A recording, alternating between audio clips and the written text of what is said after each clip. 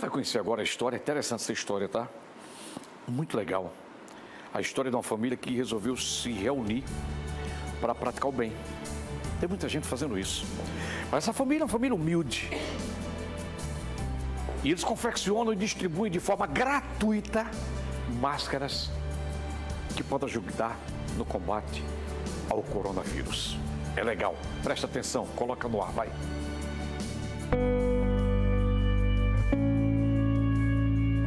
Neste pequeno vão, na casa da Dona Maria Elizabeth, ela e o José Neto costuram máscaras de TNT.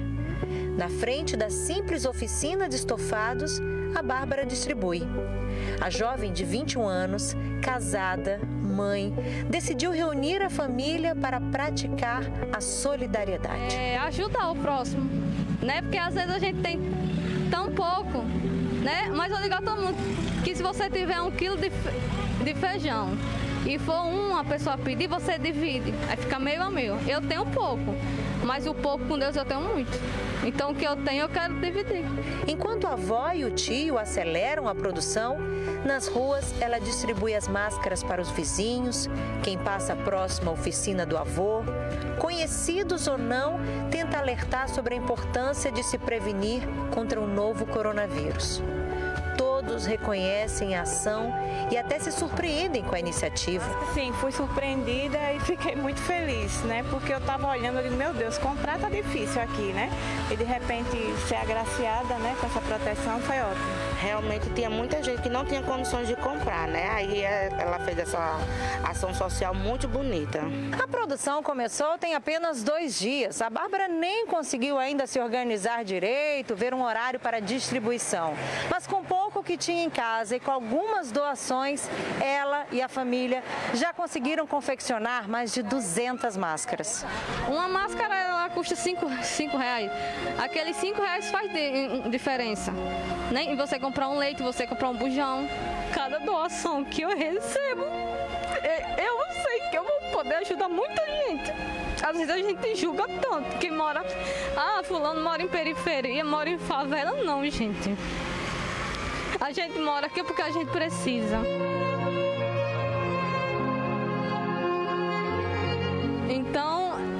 Eu, quero ajudar. E quanto mais pessoas eu puder ajudar, eu vou ajudar. E quanto mais doações eu receber, vai ser melhor ainda, porque aí eu vou aonde Deus permitir.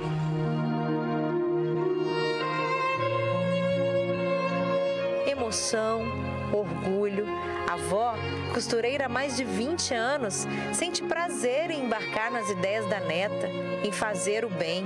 Ela ensinou a Bárbara a tal solidariedade. Solidariedade é dar, ajudar as pessoas, né? A dar a quem precisa. A senhora ensinou isso para sua neta? É, ensinei. Eu digo que, é, que a gente tem que compartilhar as coisas, né? Eu tenho dor nessa minha junta que tem dia que eu mal pisar no pé, no chão, com os, com os pés doendo. E eu estou nessa máquina desde ontem, do dia que ela começou a fazer isso, eu não senti mais as dores do jeito que eu estava sentindo. Vaidosa, apaixonada por maquiagem, Bárbara também tem sonhos, por enquanto adiados. Ter o meu estúdio de estética. Esse ano eu, eu pretendia fazer vários cursos, né? mas com isso não deu. Mas continuo estudando em casa, continuo me maquiando e às vezes eu já me acordo maquiada já. E quando a gente acha que aprendeu sobre solidariedade, ela vem com mais uma lição. Pede para agradecer quem já ajudou. A todo mundo que está vindo aqui, a todo mundo que está vindo deixar doação, a todo mundo que está falando comigo pelo WhatsApp, agradecer a Fina Cor, né, que doou 30 metros de tecido. Você tem noção de, de quantas máscaras a gente vai fazer. Agradecer a moeda de ouro, que doou elástico, e agradecer a todo mundo.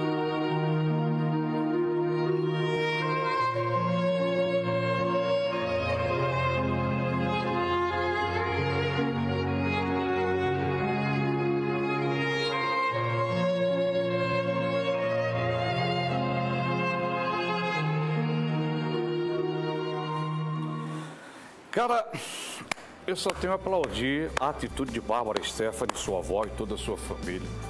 Para você ver, não é questão de se morar em periferia, é questão de se morar em favela, morar em comunidade, não. É questão de morar onde se pode morar. Ninguém mora numa comunidade, ninguém mora numa favela, ninguém mora na periferia porque quer morar, não.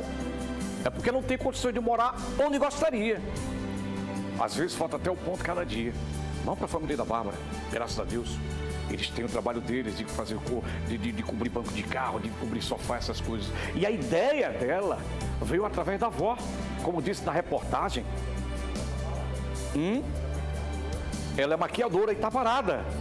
Né? O, ma o marido o quê? Trabalha na gráfica. Né? E está parado também. E resolveram fazer alguma coisa para ajudar no combate ao coronavírus. Massa, legal. Acredito que quando passar essa pandemia você vai conseguir seu estudo, sim, de, de estética, Bárbara, e, e dar uma, uma condição melhor para sua família, para sua avó, junto com seu marido. E agradecer, parabenizar quem ajudou. E quem quiser ajudar, tem, tem algum, algum telefone de contato? Qual é o endereço da Bárbara? Eu quero ir lá. Hein? Olha aí, quem quiser ajudar a Bárbara, o telefone 9614 5767.